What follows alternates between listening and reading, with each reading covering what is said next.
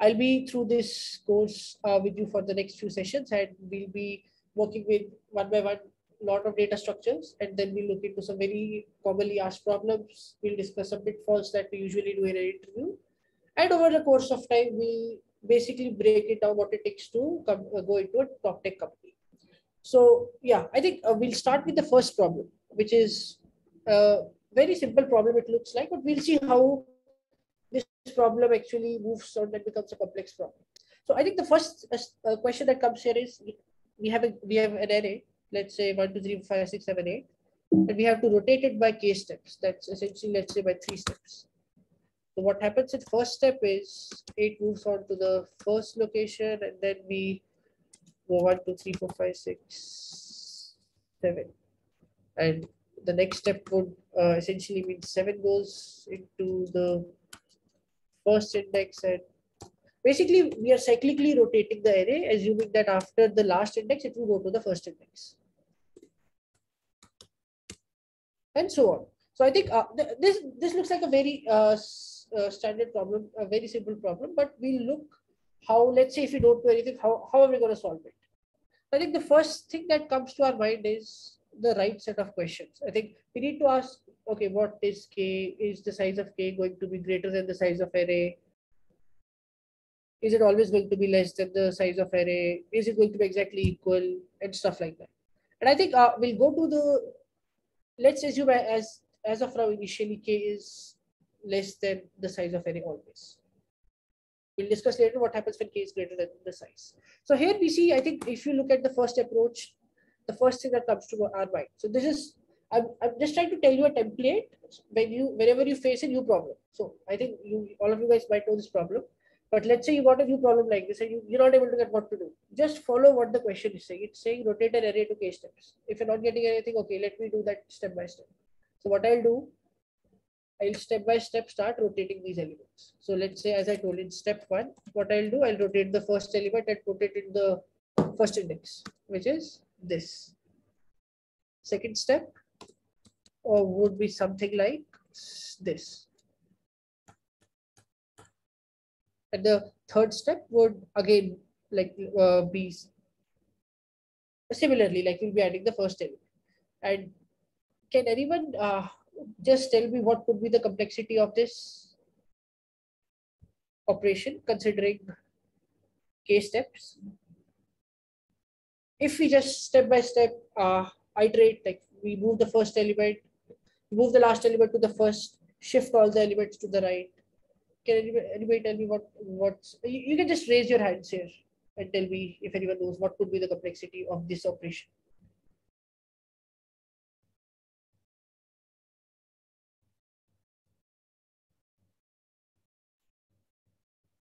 Okay, I think uh, I'll just quickly write the pseudocode of this uh, brute force approach, which basically is uh, saying nothing but okay, I'll go from i equal to one, I'll go till k what I'll do is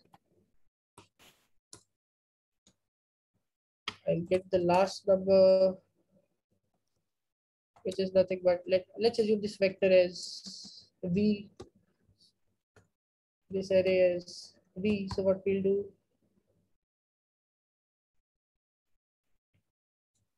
v of by this one and what we and we get the last element and then what we have to do for all the elements.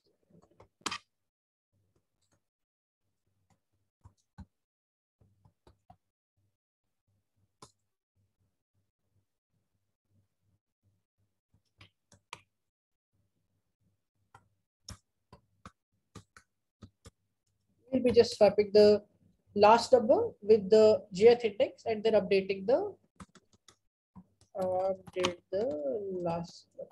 So with this, what will happen in each step? We'll move the last element to the first element and then shift all the elements to the right. So this step is really important. What we are doing is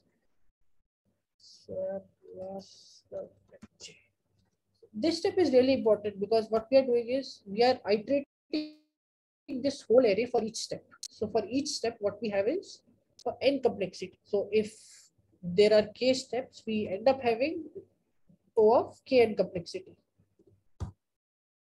which is something as a brute force I'm okay with. Okay, this is the first approach that we have come up with. Let's go forward with this. That's totally fine. But I think while we look at it, we can say this this is a fairly simple problem, and we are trying to overcomplicate it by doing a brute force. We know like at any point in time, we can figure out by very basic math what its actual position is going to be. Right? Like let's say this six, if there are three rotations, I know this six number is going to be at the start. Something like this.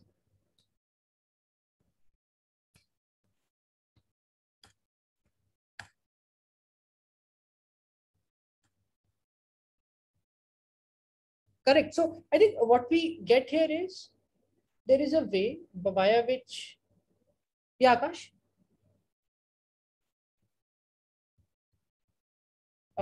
Yeah, Akash, you can ask your question. I, I didn't raise my hand. It's already raised. Okay. Yeah. Oh, bye bye. So yeah, I think uh, the the most important part here is at any point we have figured out that like we get an intuition that there is no need to all, do all this stuff and we know at any point in time hey if at for any index i know where it will end up. Because what we are doing is we're just shifting it with k positions.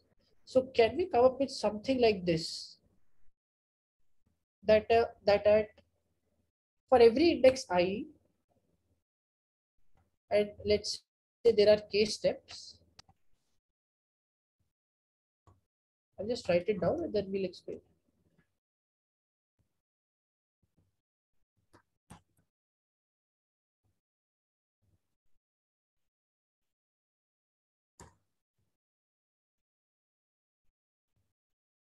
I'll build another array, let's say V1, which is nothing but a new version of V. What I'll say, I know that this, whatever the element was at the ith index in V, it will end up being it should after I do 3k rotations, it should be at i plus k mod v dot size position. Why? Because let, let's just look at this. The sixth is at five position, considering zero based indexing. Zero based indexing is nothing but the first element will be at zero index. Okay, so if you look at it, what's happening is we know that after three iterations, this six, which is at fifth position, will be at five plus three which is 8, 8 mod 8 is 0, which is the first location. So something like this. So the trickier part here is why I have used a new array. I think I could have, what I could have done is I could have said, okay, for every V, uh, for every element in V, I can do this operation. But what will happen is we, we are not doing this operation iterative, like we, we don't know whether we'll update some value which is ahead of what we have not done. So instead, what we are saying is, hey, we'll create another array, which is nothing, nothing but saying, hey, I'm creating a, let's say I'm creating this vector v1, which is uh, nothing but saying, hey, the size is v dot size, and I'm adding all elements zero initially. But what I'm going to do is, uh, I'll iterate through all the elements uh, for the sake of simplicity, n is equal to v dot size. And what I'm going to do is uh, v of i plus k is going to be equal to mod n is going to be equal to v of i. And then what I'll do is I'll reverse copy all the elements of v1 into v which is nothing but again a for loop. Simply saying, hey, uh, put all the elements that we had in V1 into V. That is something V of i is equal to V1 of i. Why? Because we have the reverse, uh, we have the reverse array in V1. We'll just put it back to the, uh, the first index. So the good thing here is what we have done is now instead of iterating k times, we have brought down the complexity to n itself. We are only iterating it once. But the issue is we are also adding a space complexity of 2 of n because we are adding a new space. So this is where we, as an interviewer, uh, would expect saying, hey, okay, this the candidate has reached till here. Can he improve on this? And then, then you'll start getting questions like, uh, interviewer will himself say, hey, okay, I think we are uh, good till here, but is there a way we can displace complexity? And I think then comes a very basic intuition. So let's look at a couple of examples here. Okay, so when you look at this example, 6, 7, 8, 1, 2, 3, 4, 5. If you look at it clearly, you can divide it into two parts, correct? 6, 7, 8, and 1, 2, 3, 4, 5. And what you know, this order is maintained even in the uh, even in, uh, whenever we have even the uh, reverse the array, uh, rotated the array, this order is still there. 1, 2, 3, 4, 5 was before here also. It's 1, 2, 3, 4, 5 is still intact. And even 6, 7 is, is intact. If you look at it here, 6, 7, and 8. The order is still intact.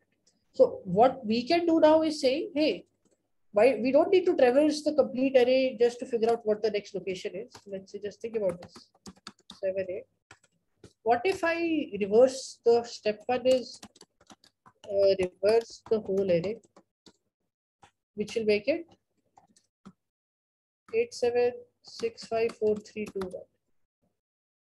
And now you see what you basically need to do is you just need to reverse the first three characters.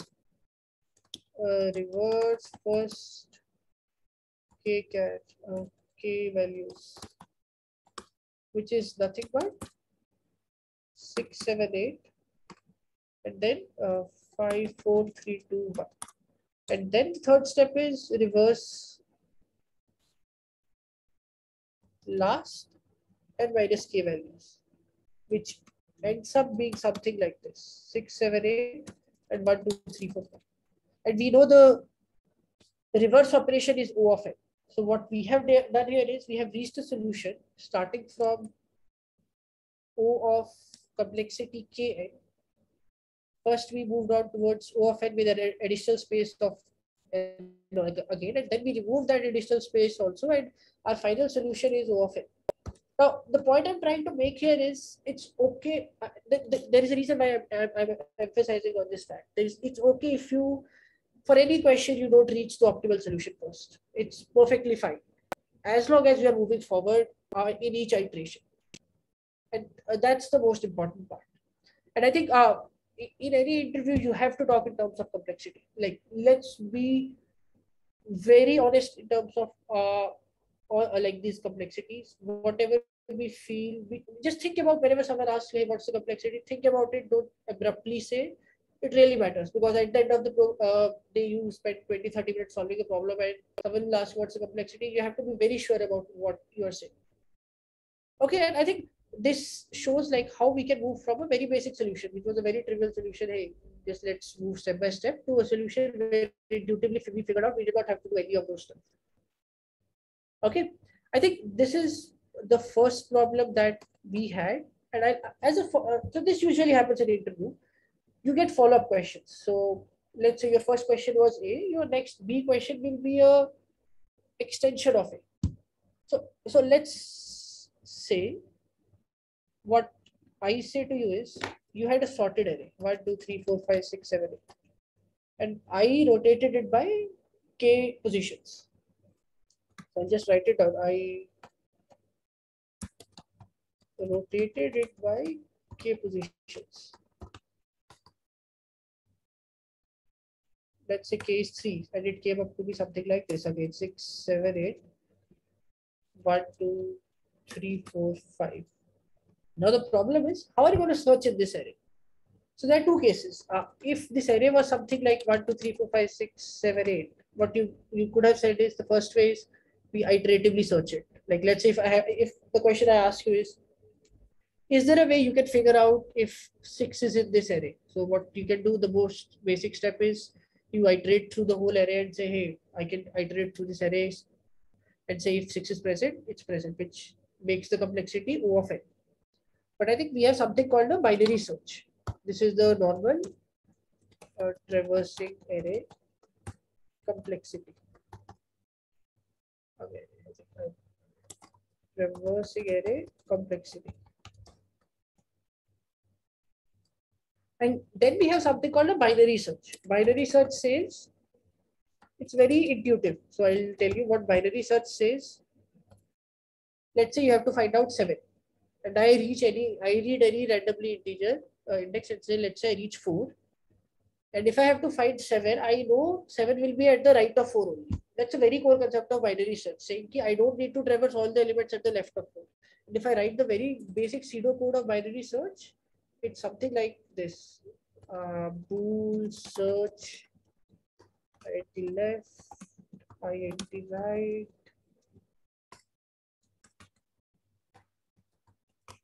while left is not equal to right. I told you like we what we do is we we write a we try to find out the middle element which is nothing but left plus right by two. And the operation is very simple.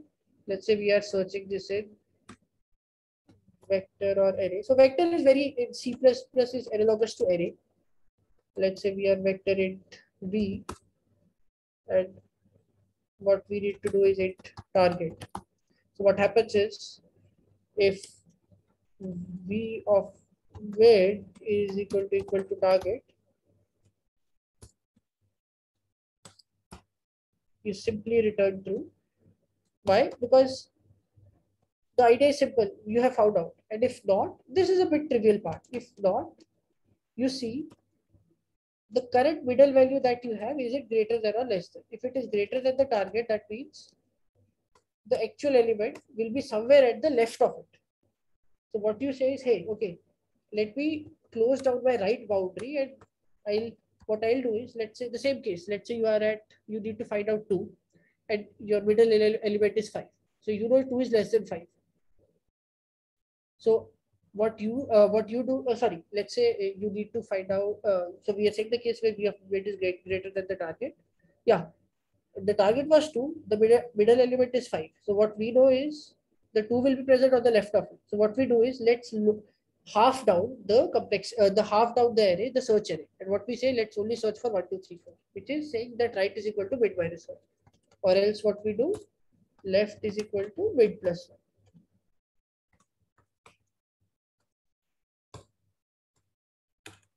with, with some very simple binary search. So this is this would be ideally a binary search in case the array is sorted. Like and what we can do is in log of n time, log of n time, uh, log of n time, we can figure out whether an element is present or not. Or you can write here something like this: return false. The trick here is what happened in what happens in a rotated sorted array a rotated sorted array instead of 1, 2, 3, 4, 5, 6, 7, 8, similar to this is something like this. But if you look at the previous question, what we know is, hey, uh, 1, 2, 3, 4, 5 is already in order and 6, 7, 8 is also in order. So is there a way we can utilize this finding that we had just previously done here? If there is a way to utilize this finding and do a search operation on this. When I say search operation, I don't mean actually searching this complete array because that would again be O of n complexity. That's saying that hey, I'm traversing the whole array. So uh, I, would pause here for like 30 seconds to one minute and I want you guys to just think about it. What can we do? And then we'll go to multiple solutions. So I'll be waiting for one minute exactly.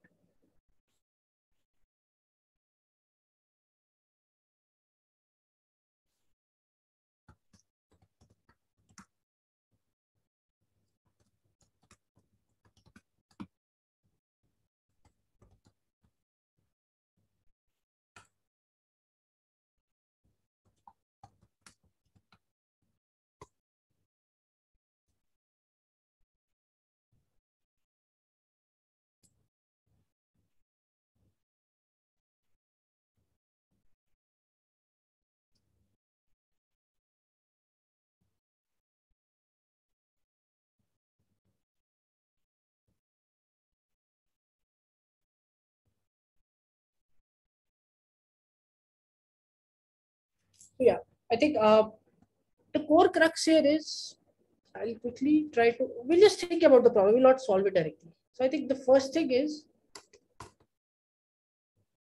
these are, uh, we do acknowledge the fact that these are basically two sorted arrays.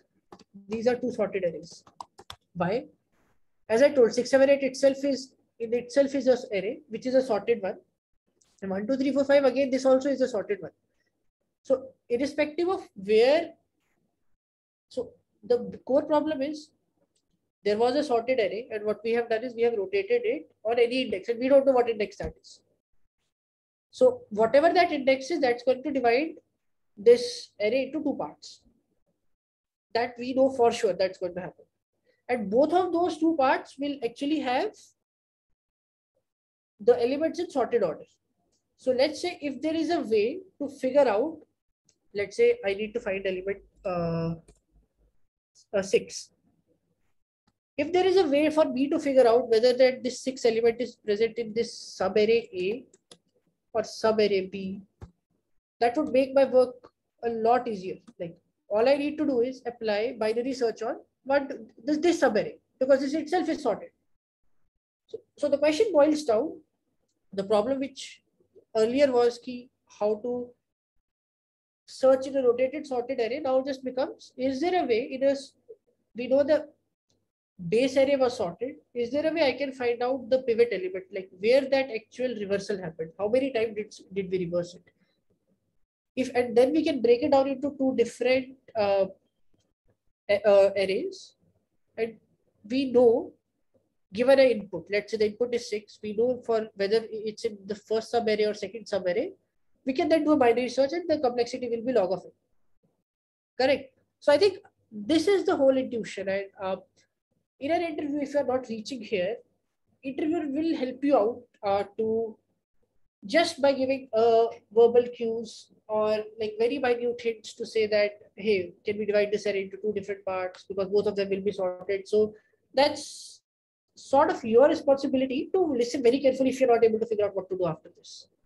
Because these cues are important and as an interviewer, I so every interviewer has only one job to do to figure out data points, and every interviewer comes up with the uh, mindset that they want to hire and say yes that this this interview went good enough. And for that, you have to provide them those data points whenever they give those cues. So let, let, let's look back at this problem. So we were that at any point in time, do we know at what index did we pivot? So there are ways to fight that out. And what uh, I'll give you a very simple example. So something like this. The same example I'd say. So for any, uh, if the given array is rotated k times, there will be at least one number. Given that k is not equal to n, I'll go to that case because if k is equal to n, the array is complete in the reverse order. That means if k is n, if k was equal to n, this array will end up uh, this array will end up being like each and every element will come up and this array will end up being the same array. So not the reverse array, but the same array actually. So what happens is, in all other cases, if you look at it carefully, you will figure out, say, hey, for, there will be at least one number, which is 8 here, for which the right number to the, uh, the number which is at right to it will be less than that any sorted array you say like 6 7 1 2 3 4 where because see these are the two numbers that we have rotated. So we know already that hey after this 7 number whatever number will be will be always less than 7 and that's what we have to find out. And we can use this feature and figure out via again binary search. I'll tell you why. Let's say i'm at 2 at 2 is uh, again less than uh, I'm at 2. So all I uh, and I, I, all I need to uh, when I'm at 2, all I need to check is what's the starting element. Let's say I'm at 2 and I see the starting element is 6, which means the starting element is greater than 2, which means that the number of uh, types the we uh, re, reverse the we rotated the array is always less than 2 because this should have been the ideal case One, two, three, four, six, seven. This should have been the ideal case where any number is always less than the first number. That's what the sorted definition is. Any number in the middle of the array is less than the first element and the last element, uh, sorry, any number in the sorted array is greater than the first element and less than the last element, less than equal to the last element. So we can use this property to figure out at what index, till which index have we uh, revolved the array. And I'll write a quick function to do so.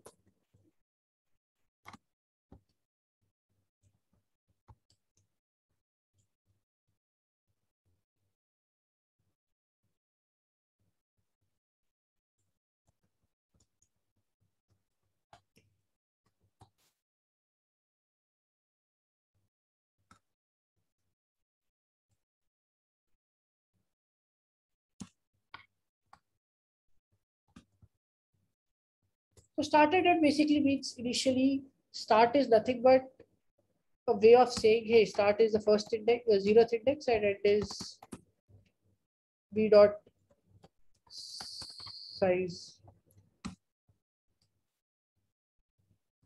So if you look at the, uh, there's a tricky part here. The tricky part is uh, what happens, uh, what happens in the cases uh, when this array is already sorted. So we know in those cases,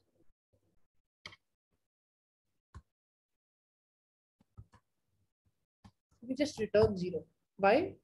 I'll, I'll just write in comments why we are doing this. Let's say the complete array is already sorted. It's something like this. One, two, three, four, five, and we revolved it five times. Five times we rotated it, it ended up it ended up being the same array itself. So what we'll figure out here is start will be less than end, which means that hey, this array is already sorted. We don't need to do anything on this, and number of rotations will be zero in this case.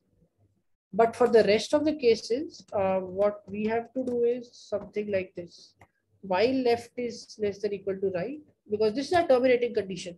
Because when both of the our left and right pointers basically converge, that we basically are saying, so this start and end position basically say the current window size. Currently in this vector V, this is the window from start to end that we are looking at at this point in time.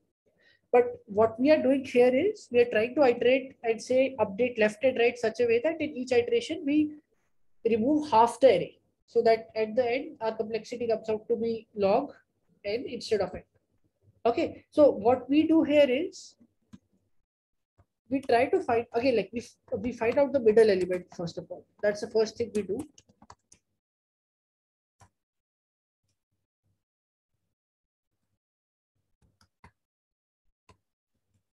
And what we do is if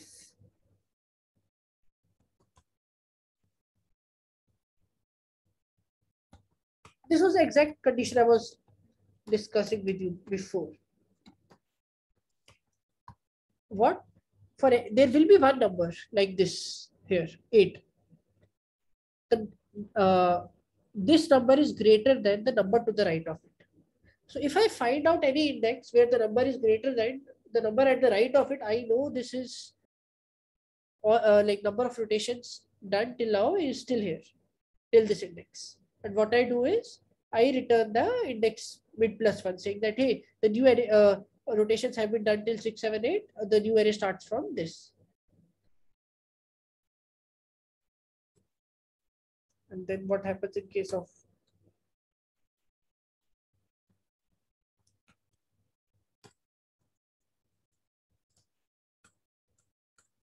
in case of else, we have uh, we, we again have a couple of conditions. I, will tell you each one by one. So let's look at this. The same. Uh, I'm just focusing this and keeping this bold. Let's say uh, I'm at index. Uh, my mid is at index three, and what I see is the number uh, to the left of the first element is greater than three.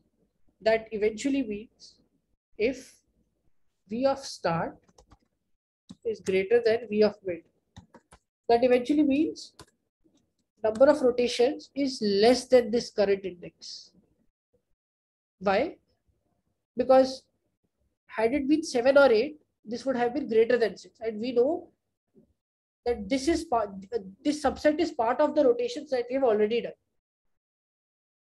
Okay, so what happens here is uh, we end up saying, hey, if the start is greater than, uh, if the first element is greater than the mid element, what you do is you you break down the window, which is the end position, into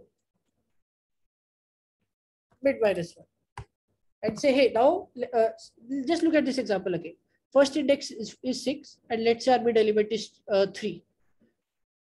Three is less than six. I have to remove four and five now. I only will be traversing this array. Why? Because I definitely know 4 and 5 is not part of the rotations that I have done. So this function basically, this function basically returns me number of rotations that we have done in our array. And now what we know is, hey, we already now we already know that based upon these number of rotations, let's say this answer comes out to be 3. That means, let's say the output of this is 3 for this array is v comma 0 comma minus 1 is equal to 3. And what is v of 3? v of 3 is 1. Now let's say you want me to find out if 1 is present. Then I already know v of 3 is equal to 1. Now let's say uh, you want to find out uh, this 4. Now what I know is 4 is less than 6. Correct. 4 is less than 6. But ideally what should have happened had this array been sorted, 4 should have been greater than the first element. So what I know, this is part of now the second array. And I know from which index the second array starts, 3, which I just calculated. So what I can do now is I can do a simple binary search in this vector where the start position will not be zero, but it will be, let's say I will say is, is at P. This would be the peak position. Binary search would be the at the P, P uh, we'll start from the P position till n minus one position. In case if let's say we say target, uh, target is greater than v of 0. Else, the else would be very simple, say, okay, do the binary search in the first part of the array.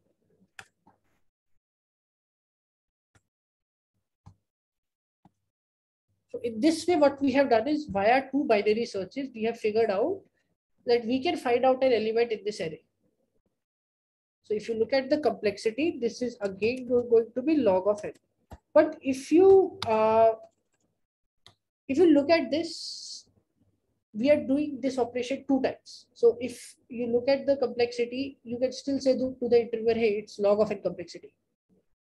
But it actually is doing the traversal two times. And if interviewer says, hey, I think we're iterating it two times, is there a way we can do it in a better way? You have to take that cue and say, okay, I think is there actually is a way that we, we don't need to do this iteration two times. First figure out the index and then divide the array into two parts and then uh, do binary search on two separate arrays. Instead, there is a way to do this in a better way. And I think something similar, uh, and then you have to come up with a better approach. And if you look at it, we do have an approach where we don't need to basically iterate this two times. Instead, we can do it in one go itself. And I think uh, what I want you guys to do is, I think see this the whole purpose of these sessions is so that you when you go back, you improve on uh, after this. So what I want you guys is you go this problem you'll be able to find easily and like not exactly but derivative of it you'll find easily you find out a way so that this complexity instead of 2 into log n tends to log n only one pass you guys are able to do this and what i can do is in the next session I'll spend initial two to three minutes discussing this approach if any of you guys ha uh, have done it. And I'll tell you if none of you, uh, like if you're not done it, we'll discuss it for the first two to three minutes. The best way to do this. Okay, and I'll move on to the next problem. And I think you, you guys can take this, I'm not saying as a homework, but something you can spend your time on uh, after this session so that the impact of this session increases. Okay, I think I, will uh, I'll move on to the next problem this problem is a bit tricky. Tricky in the sense, uh, there is a reason why I'm giving uh, this problem because this problem is like uh, problem heavy. We call this problem heavy, saying that uh, like you'll, you if you look at this problem, you'll see a huge bunch of like some sort of theory and sort of this attached to it. I'm, I'm just saying before the question itself, and the question might look very daunting to you saying, hey, this, this, this is asking me something I'm not aware of, or like, what sorcery is this? But uh, I want you guys to just think about it, be very calm about it, and see how you can figure out patterns. So the pr uh, primary perspective of this problem is so that you guys can figure out the patterns. How, like, let's say you get any unknown question. I don't see you guys already seeing this question. So let's see what you guys would do if you see an unknown question like this. So the problem statement is very simple let's say you have an array that has uh, that's an array that basically is an array and it has integers from 1 to 2 to the power n minus 1. So let's say if n is equal to 2, you basically have 1 comma 2 comma 3 if n is equal to 3 you have 1 comma 2 comma 3 comma 4 comma 5 comma 6 comma 7 so now what you do is i'm allowing you to do an operation any number of times. Now this is very important part. You can do an operation any number of times and the operation is imagine these numbers how they would look in their bit representation and what you have to do is you have to swap any of the, you have to take first two numbers and swap any of their bits. Let's say something like this. So three we can write in binary as,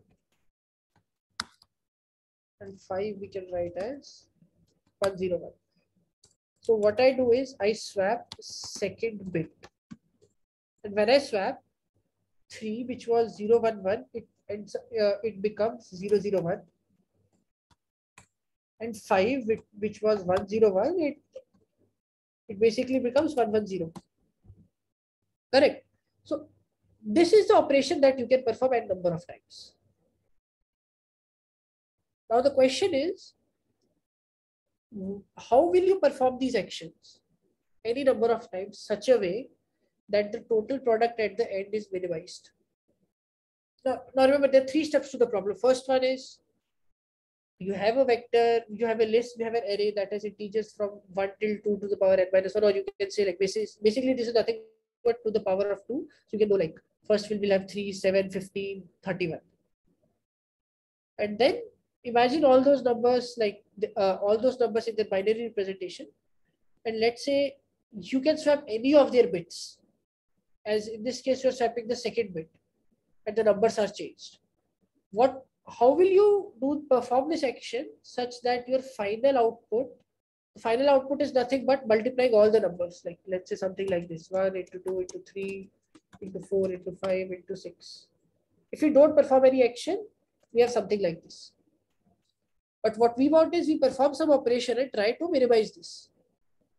I'll give a very small example. For 2. Let's say 2. So when n is equal to 2, you have three numbers, which is nothing but uh, 1, 2, and 3. And if you look at their binary representation, it's 0, 1, 1, 1, and 1, 0. Now, if you swap any number out of these two, there can only be two cases. Either one of them becomes 0. The only thing that you cannot do is you have to ensure that no number is 0. I'll just return it. No number should be 0 that basically means let's say you are at uh, something like this. You have 101 and you have uh, 010 so you cannot swap their second index bit because what will happen? 101 will become 111 and this will become 000 and you multiply any number with 0 total product is 0 so without you making any of the numbers 0 you have to figure out a way to minimize the product of the whole array. Now, this is a very. This sort of problem will come. An interview will itself take some time, maybe 10 minutes to make you understand the problem, and you will have a follow-up questions. How is this happening? And this looks way too daunting if you look uh, tell me the first attempt, like what's going on, like how do I figure out the bits and stuff like this. I'll give you more examples. So in the case of three, the ideally what we could have done is the numbers are 1, 2, 3, 4, 5, 6, 7. I think I've already written. And if you multiply all, that is nothing but 7 factorial, which is 5040. Correct. And we have to find out a way. This is by default the numbers. And we have to find out a way we can minimize this. And how can we minimize this? I'll just give an example. So let's say we have, let's let's look at two numbers. Okay let's look at okay so i is it this the font should not change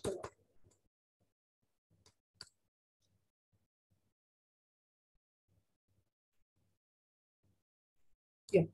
So i think uh what i'll do is 5040 so i think this problem statement uh again as i said this is a bit tricky and this these are like uh, hard problems but i want you guys to again uh, feel what it feels to have a good problem in front of you so what happens here is, let's say the numbers are one, uh, 5.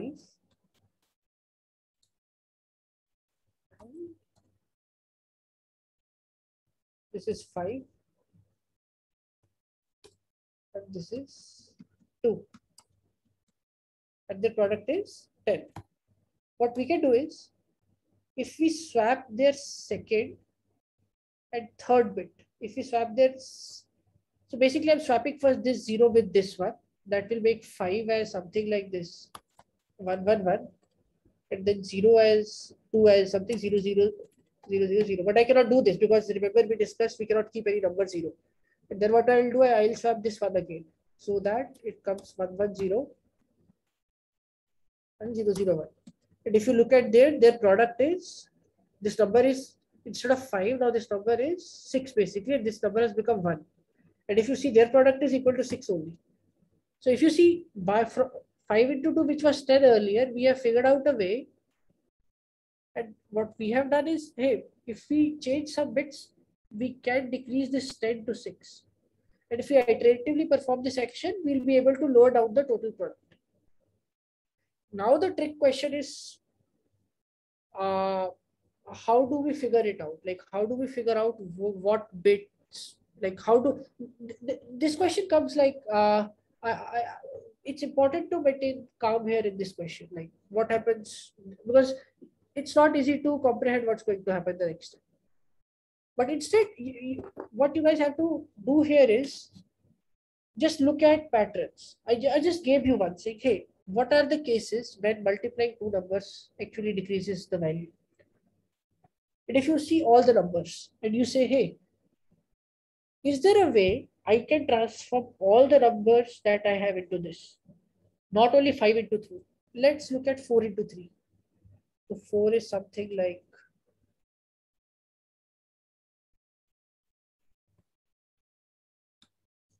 and 3 is something like 0, 1, 1 and their product is equal to 12.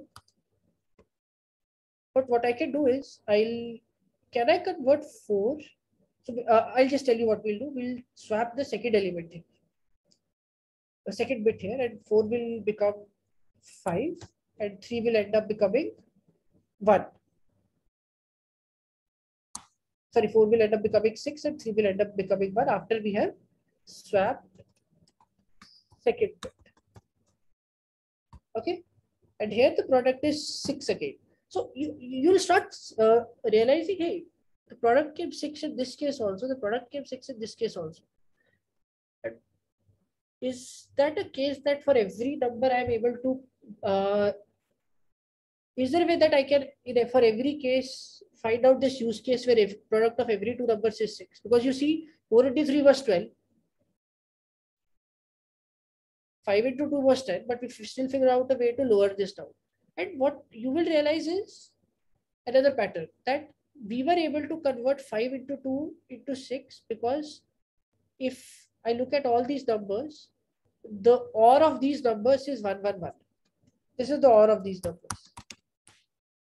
Is there a way, and if you look at the way uh, binary representation works, for every 101, let me tell you 101, there will be a 010. Basically, there will be a complement number always present. So let's say I have 1001. You will always have something like 0110. And what you see, the pattern that you find out from here is the product will be maximized if the first. So I think the most uh, basic step that we know is anything number, multi, number multiplied by 1 is number remains same. So if you make this number 1, the other will be always minimized, which is different in other cases where then both numbers will be adding into multiplication. So what we can do here is, can we find out a way uh, that for all pairs, we can convert them into this format, 1110 and 001 format. Or so th this was this is not the case where n is equal to 3, this is the case where n is equal to 4. But for every number, if you look at this, and I want you guys to look at this problem uh, once this session is over also, you will see a pattern that for every number, you will find you will find its pair. And the pair is uh, simple. Again, I said, it's just a complement of that number. And you can rearrange their bits in such a way that one of them is one and the other of other number is always this. 2 to the power of n minus 2 to the power of n minus 2. This will be the other number. In this case, to n, when n was equal to 3 to the power 2 to the power 3 minus 2, which is 8 minus 2, 6. It was always 6. And what you can do is, there is only one number which you cannot bifurcate, which is the number like when n is equal to 3, which is 7, where all the numbers are 1 itself. So the pattern that you will find out is apart from the last, uh, let's say, if you write numbers from 1 to 31, when n is equal to 4. When n is equal to 4, 2 to the power 4 is 32. And so let's say you have 1 till 31 numbers, you'll figure out apart from 31 number, all the other numbers, 1 till 30, will be pairs of each other. And you can find, find out 15 pairs out of them and each of those 15 pairs will be having multiple value of 30 always. Always it will be 30. There is no other way. I'll just tell you a very simple example like this is 30 into 1. So, and if you look at the final solution, it eventually comes out to be very simple. The solution is n minus 2 to the power n minus 1. As I told, like this 30 number, this 31 number, because there is no way you can bifurcate 31. Multiplied by 2 to the power n minus 2, which is this 30. Now what we need to do is how many times will this 30 come? This 30 will come 2 to the power n minus 2. Oh, sorry uh, 2 to the power n minus 2 divided by 2 times. Why? Because there are two pairs. We take two numbers and make one pair. And this becomes our final output. That's very simple. Such a so I I hope you got my intent here. A problem which had bit manipulation, which which had like numbers from zero to n and then n number of operations you could perform. There was no pattern you could figure out from the question itself and how you look into a couple of use cases and come up to the final solution.